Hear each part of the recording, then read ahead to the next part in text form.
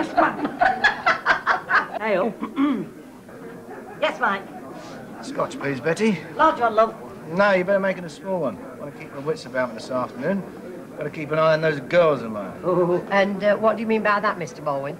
I mean, you were hard at work when I left, yet you still managed to get in here before me.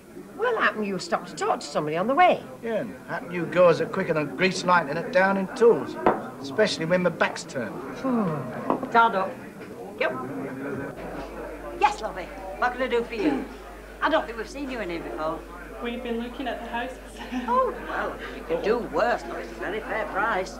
but what, uh, what about the name? Oh, salt of the earth. You could find better. Only we just wondered if we'd fit in round here.